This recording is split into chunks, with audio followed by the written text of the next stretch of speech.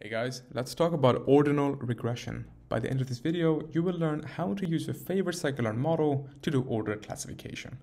Link to the package is given down below. Ordinal classification, or also confusingly called ordinal regression, is a way to introduce order when you're classifying stuff. This is interesting because 80% of machine learning is classification. Even though classification is very useful, but sometimes these machine learning models are not always good at predicting or understanding the natural world we live in. Sometimes you have to introduce some sort of order. These sequential elements to a time aspect or the weather patterns, maybe temperature. So this simple paper introduces how you can turn any classifier into an ordered classifier. Let's say you have three class labels, hot, mild, and cool. You can divide the dataset into multiple binary datasets and do predictions on those.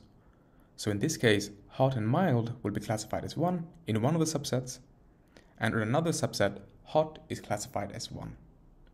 Unintuitively, you're introducing order using this very simple heuristic. This package I linked down below works with any scikit-learn classifier.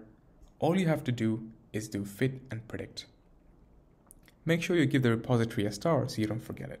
The way the prediction works is taking the probability and taking the probability differences of one class to other classes.